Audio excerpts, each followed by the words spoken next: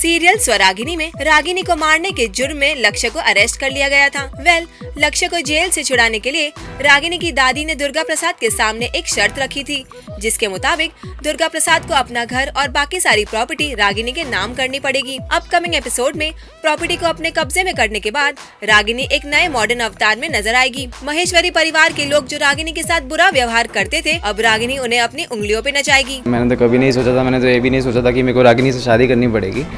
पर अब तो सब कुछ उल्टा होता जा रहा है जो रागिनी चाहती है वैसा सब कुछ होता जा रहा है।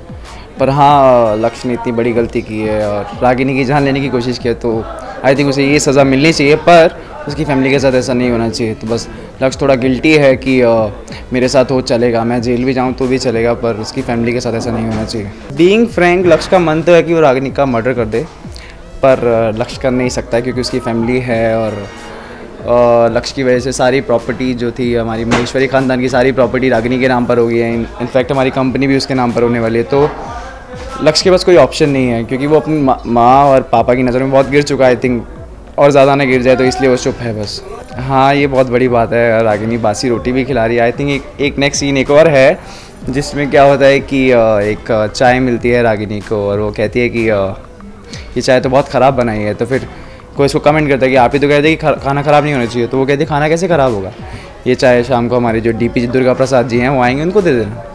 तो तो ऐसा है, बासी रोटी, अब ये सब है, अब क्या करें जो लिखा रहा है वो हमें करना पड़ेगा। अब ये जो रागिनी का रंग है, वो आज तक आई थिंक रागिनी को खुद नहीं पता होगा कि वो ये सब कर चुकी है, कर सकती है।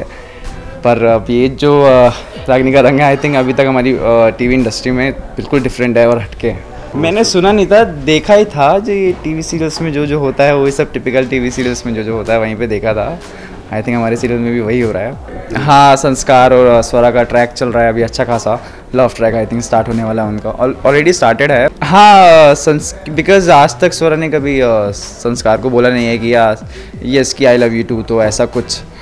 तो बस यही है कि मिसअंडरस्टैंडिंग है और स्वरा को खुद नहीं पता कि वो किससे प्यार करती है। टेलीविज़न के मोर अपडेट्स के लिए देखते रहिए हमारा चैनल